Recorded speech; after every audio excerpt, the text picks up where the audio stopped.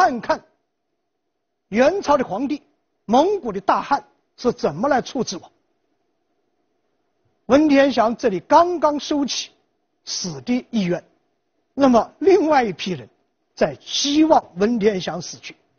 什么人呢？文天祥的一群部下，几个朋友，为首的人叫王延武。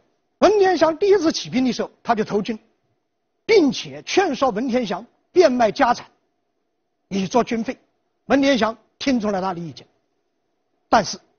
当文天祥得知这个王延武父亲死了，还没有来得及下葬，而母亲又重病的时候，文天祥不让他到军队了，让他回去，回去干什么？你去尽孝，抗元也不在于你一个人，我们带你抗元，我们带你尽忠，你回家尽孝去。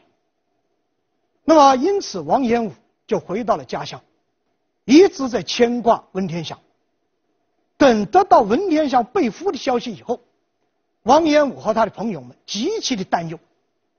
他们不是担忧文天祥被杀，他们相信文天祥一定视死如归。他们担心的是什么呢？担心是文天祥被俘以后会备受凌辱，会丧失尊严。担心文天祥在元军在蒙古人的严刑之下。他可能想求生，可能会变节。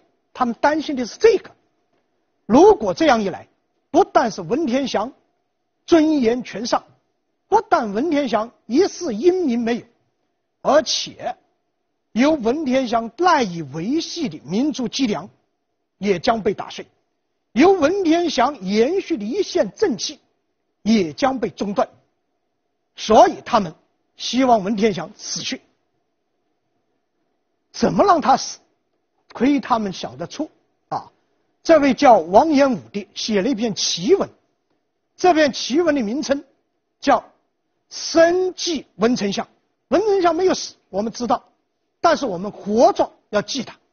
于是，在这篇文章里头，这篇祭文里头，这个王延武分析了文天祥。种种应该死去的理由，排斥了文天祥种种可以活下来的道理。一句话，让文天祥速死，叫速丞相之死。而且把这个祭文抄写几十份，贴在文天祥由赣州到南昌一路上可能靠岸的码头，以及码头附近的寺院的山墙。商店的墙壁都贴上，希望文天祥看到。看了以后，文天祥自杀。由于元军守卫的严密，也许文天祥看到了，也许没有看到。那么一路上，文天祥没有死，就到了大都。到大都以后，接受了更严峻的考验，一共监禁了三年，劝降不断。当然世道沧桑，已经过去将近八百年了。但是很有意思的是，关押文天祥的这所监狱的旧址还存在，在哪里？在我们现在北京府学胡同，但是名字已经不是监狱了，叫做文丞相室，变成纪念文天祥的一个地方。那么这个时候，文天祥一边被监禁。另外一面，元世祖忽必烈，也就是蒙古大汗兼中国皇帝的忽必烈，正在和他的大臣们讨论一个问题。讨论什么问题？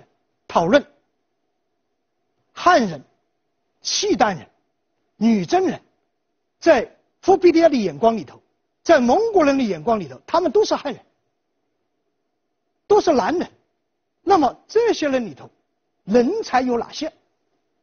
所以，根据《宋史》的记载，《元史》的记载，那么忽必烈问了这么一句话：南宰相苏贤，南方的宰相里头，男人的宰相里头，谁是最贤的？谁是最有本事的？结果人们回答他：北人无如耶律，其南人无如文天祥。这个耶律叫耶律楚材，这一位是契丹人。那么耶律楚材在元太祖成吉思汗、在元太宗窝阔台以及元世祖忽必烈手上，都做出了极其重要的贡献。大家把文天祥和耶律楚材并称，实际上是提请忽必烈注意，你对耶律楚材是有印象的，那么文天祥是完全可以和耶律楚材并肩的。这样一来，忽必烈就更认为文天祥是个人才了，于是亲自召见，亲自劝降。文天祥来到大殿，朝着忽必烈长揖不拜，做作揖，拱拱手，但是不拜，什么意思？我是南朝的宰相，您是蒙古和大元的皇帝，我们两国之间，哎，他还这样做讲究，但是。应该说，忽必烈也是伟大的人，他没有怪罪，不但没有怪罪，反而肃然起敬。然后让人告诉文天祥：如果你归顺我大元，而且归顺是名正言顺的，你们的太后、你们的皇帝都归顺了，而且普天之下，你可以看一看，哪里不是我们蒙古人的天下？除了被海所隔。蒙古军队几乎所向无敌，但是文天祥至死不降。那么文天祥为什么不降？他有他的道理。后来他告诉人们是这个原因：孔曰成人，孟云起义。所谓成人起义就这样来的。唯其意境，所以论之。读圣贤书，所学何事？而今而后，属己无愧。我对得起我的天地良心。什么叫做英雄惜英雄？忽必烈赞叹的是文天祥的这股正气。那么英雄惜英雄，不是强迫对方接受自己的意愿，而是尊重别人的选择。所以，忽必烈尊重了文天祥自己的选择，没有再逼降，而是让他。保留着自己的这股正气。公元一二八三年的一月九日，这是说公历啊。文天祥被绑赴刑场，当时的才士来动刑处死。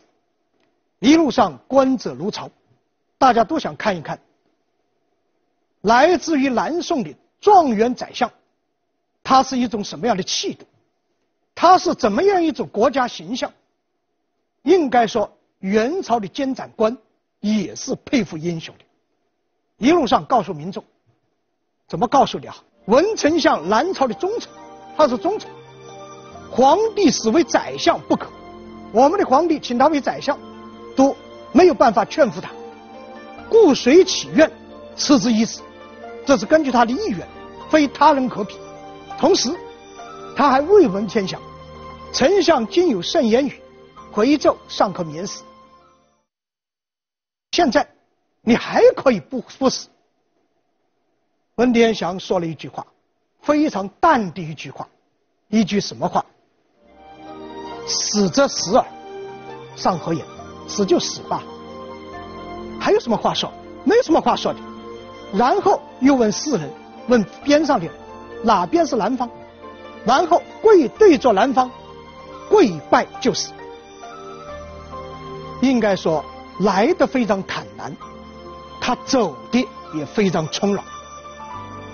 那么文天祥去世了，他为我们留下来的这一线正气，保留的民族脊梁，一直成为中华民族的一份宝贵的精神财富。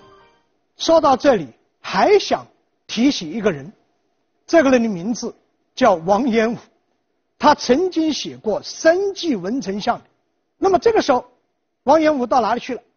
王延武听说文天祥就义，极其的悲痛，重新写了一篇祭文，祭悼死去的文天祥。在这里头有十六个字：“名相烈士，何为一传？